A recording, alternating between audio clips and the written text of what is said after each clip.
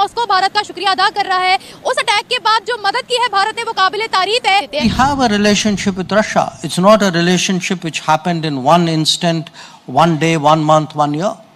It is an accumulated relationship of close to 60 years.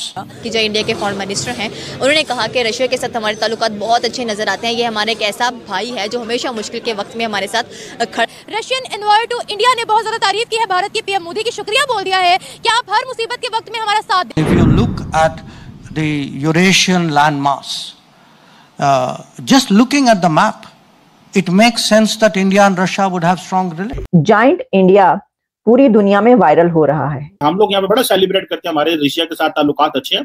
पता नहीं होंगे अच्छे ताल्लुकात पर मुझे तो वो वक्त देखना है कि रशियन प्रेसिडेंट कब पाकिस्तान आएगा। इसकी वजह यह है कि अब दुनिया के इलेक्शंस में भी इंडिया की बात की जा रही है। बट हम लोग जैसे हैं ना अगर हम मदद हमें ज़्यादा मदद की ज़रूरत है। पता है कि इंडिया की जो इम्पोर्ट है रशिया से वो चार सौ परसेंट बाकी है। जैसे तेज़ी से उनके रिलेशन इंटरनेशनल लेवल पे बेहतर होते नज़र आ रहे हैं। दुनिया की पांचवी बड़ी इकॉनमी बन चुकी है और आने वाले दो तीन चार साल में शायद दुनिया की तीसरी बड़ी इकॉनमी बनने वाली मदद की है तो वो प्रेस कर रहे हैं ना। हमने की आपको लगता है हम कर सकते हैं? वैसे तो टू बी वेरी ऑनेस्ट मैं हम लोग खुद एक डेवलपिंग कंट्री हैं। डेवलपिंग भी नहीं है sorry to say sorry to say developing भी नहीं है बट उस लेकिन अब तो मुझे यही लग रहा है कि पाकिस्तान जल्द से जल्द डिफ़ॉल्ट ही होगा। रिसेंटली ही रशिया के कैपिटल मॉस्को में बहुत बुरा टेररिस्ट अटैक हुआ बहुत बुरा वहाँ पर हमला हुआ जिसके बाद भारत ने रशिया की मदद की। अब मॉस्को से खबर सामने आ रही है कि मॉस्को भारत का शुक्रिया अदा कर रहा है। उस अटैक के बाद जो मदद की है भारत ने वो काबिल तारीफ़ है। रशियन इन्वॉय टू इंडिया ने बहुत ज़्यादा तारीफ़ की है। भारत के पीएम मोदी की शुक्रिया बोल दिया है कि आप हर मुसीबत के वक्त में हमारा साथ देते हैं। बढ़ते हैं अवाम की जानब उन्हें इस खबर के बारे में बताते हैं कि भारत हर मुसीबत में घिरे हुए मुल्क का मसीहा बन रहा है। उन्हें मदद की है तो वो प्रेस कर रहे हैं ना। हमने की आपको लगता है हम कर सकते हैं? वैसे तो टू बी वेरी ऑनेस्ट मैं हम लोग खुद एक डेवलपिंग कंट्री हैं। डेवलपिंग भी नहीं है sorry to say sorry to say developing भी नहीं है बट उस टाइम पे हम लोग डेवलपिंग थे। लेकिन अब तो मुझे यही लग रहा है कि पाकिस्तान जल्द से जल्द डिफ़ॉल्ट ही होगा। सॉल्ट से कहना नहीं चाहिए बट हम लोग जैसे हैं ना अगर हम मदद हमें ज़्यादा मदद की ज़रूरत है। तो फिर आप कह रही हैं कि वो एक ही कंट्री का नाम दे रहे हैं वो तो उसी का नाम लेंगे ना जिन्होंने मदद की है हमारा कैसे ले लें? क्योंकि इंडिया तो वैसे ही डेवलप्ड कंट्री है बहुत बड़ी कंट्री है बट अगर पाकिस्तान ने मदद की भी है तो बताना चाहिए। लेकिन मुझे ऐसा लग रहा है कि पाकिस्तान की है हम कहाँ से करेंगे मदद? हम उल्टा कहेंगे हमें दो मदद। हमें तो चाहिए मदद। हमें हमें चाहिए। तो चाहिए। क्योंकि इधर की आवाम जैसे आज ईस्टर था आज हमारी ईद थी लाइक क्रिश्चियंस और हम लोग घर थे ना लाइट आ रही थी ना पानी था। तो और, और जो कि बहुत गलत था हमें पता है हम लोगों ने कैसे उस चीज़ को सफ़र किया है। और बिल्कुल दो घंटे के बाद लाइट आई थी टू बी वेरी ऑनेस्ट और क्या ही पाकिस्तान के हालात हैं। Pakistan is help for educated people sorry to say nothing gonna change in this country harsh reality या एंड जैसे आपने देख लिया था कि कल इन्होंने चर्च को आग लगा दी। कल? गिफ्ट था जी। Around around three o'clock और हाँ जी पिंड रावलपिंडी में इन्होंने चर्च को आग लगा दी और ये हम लोगों को ईस्टर गिफ्ट मिला था। हम इंसानियत प्रमोट कर रहे हैं फिर। नहीं ह्यूमैनिटी है ही नहीं इधर। ह्यूमैनिटी नहीं है। वैसे हम लोग कहते हैं कि ये हम लोग पीसफुल कंट्री हैं but we guys are not we are not peaceful no फिर हम कैसे कह सकते हैं कि कोई हमारा नाम लेगा शुक्रिया करने के लिए या ह्यूमैनिटी के लिए? ये हम बोल भी कैसे सकते हैं? नहीं मुझे तब उस टाइम पे लगा था कि शायद पाकिस्तान ने मदद की होगी उसका नाम नहीं आ रहा। बट आपने अब मुझे क्लियर किया है कि पाकिस्तान ने मदद नहीं की। एंड अब मैं यही बता रही हूँ कि पाकिस्तान में फॉल्ट क्या है मैं उन्हें प्रोमिनेंट करके बता रही हूँ। Minorities are safe in Pakistan question mark नहीं minorities are not safe in Pakistan because किसी भी चर्च में आग लग जाती है।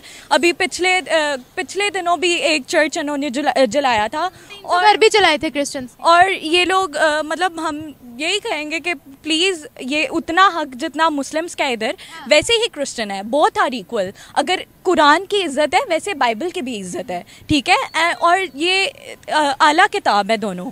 और प्लीज़ जैसे आप हर चीज़ की इज़्ज़त करते हैं वैसे आप बाइबल की भी इज़्ज़त करें लोगों की भी इज़्ज़त करें और जी लोगों की भी इज़्ज़त करें और हकूक एक ही मिलने चाहिए। डिस्क्रिमिनेशन यहाँ पर हो रही है आपको लगता है कि भारत में हो रही है? नहीं भारत में मुझे नहीं लगता हो रही होगी Bharat is way way better than Pakistan secular country है ना? या काफ़ी डेवलप्ड है कंट्री और वो काफ़ी अच्छी है। उधर इवन टैलेंट को भी प्रमोट किया जाता है जो कि पाकिस्तान में नहीं किया जाता। किया जाता। पाकिस्तान में लोगों को दबाया जाता है जैसा कि ये टाइम आ चुका हुआ है। वो इंसानियत कितनी प्रमोट कर रहे हैं? पूरी वर्ल्ड की कितनी हेल्प कर रहे हैं? या क्या उनका किरदार है पूरे वर्ल्ड में? देखा जाए तो वो मदद कर ही रहे हैं क्योंकि वो एक प्रॉपर डेवलप्ड कंट्री है और वो अगर उनसे कोई मदद मांगे वो काफ़ी ज़्यादा उनका प्राइम मिनिस्टर काफ़ी ज़्यादा मदद करता है। उसके सऊदी अरेबिया में मतलब मीटअप्स करते हैं वो जो प्राइम मिनिस्टर्स हैं। और पाकिस्तान को कौन बुलाएगा? हमारे तो इधर प्राइम मिनिस्टर कंसिडर ही नहीं होते। हमें पता ही नहीं है। हमें भी नहीं पता अभी कि करंट प्राइम मिनिस्टर एक्चुअल है कौन? मुल्क कौन चला रहा है? I don't know we don't know exactly आखिर सवाल पूछूँगी, क्या वो तारीफ़ और इज़्ज़त डिजर्व करते हैं? कौन? इंडिया। या, इंडिया करता है। जैसे वो सबकी मदद करता है प्राइम मिनिस्टर के मीटअप्स होते हैं ना इंडिया डिजर्व करता है। अब इंडिया के जो ताल्लुकात हैं रशिया के साथ वो तो 1950s में, और आपको पता है इंडिया ने as a non alignment position अख्तियार की कोल्ड वॉर में, और भारत जो है वो मॉस्को पे रशिया पे अपने वेपन्स और इकोनॉमिक सपोर्ट पे बड़ा डिपेंडेंट रहा। पाकिस्तान जो था, उसने पहले से ही अमरीका तौर पे हमने तो रशिया से इन्विटेशन मंगवाया, और चले हम अमेरिका गए इंडियंस पहले अमेरिका गए थे।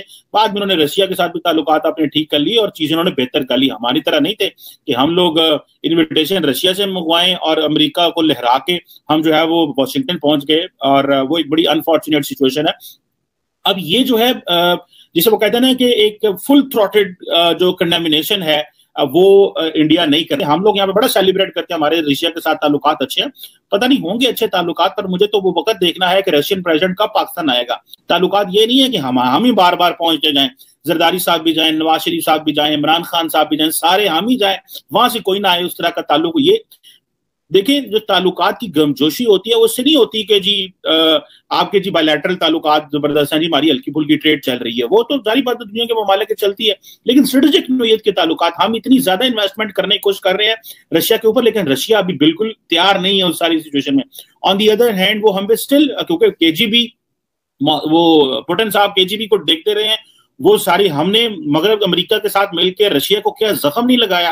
अफ़गानिस्तान में तो वो उनके दिमाग से चीज़ें नहीं निकल रही, और आज भी उनको पता है कि पाकिस्तान जो रशिया के करीब हो रहा है, ये बेसिकली हमारे लिए नहीं आ रहे, ये अमेरिका को दिखाने के लिए आ रहे होंगे, ताकि अमरीका हमारे साथ सीधा हो जाए। खैर नहीं हो, ये जो इंडिया की कुर्बत है और इंडिया का जो है वो अपनी ये पोजिशन इंडिया ने मेंटेन किया है कि इंडिया रशिया के साथ खड़ा है या इंडिया किसके साथ खेल इंडिया ने अपनी एक न्यूट्रल पोजीशन ली हुई है। अब यहाँ पे देखें कि तकरीबन एस फोर हंड्रेड जो मैंने पहले बताया surface to air missile system जो इंडिया को मिला उन्होंने अच्छे भले 5.34 बिलियन डॉलर की इन्वेस्टमेंट की। फिर इंडिया जो है, उसने कुछ छह lakh Russian डेजिक design A K two zero three assault rifle जो है, जो कि इंडिया की इनास मॉडल की जो राइफल है, उसको रिप्लेस करेगी।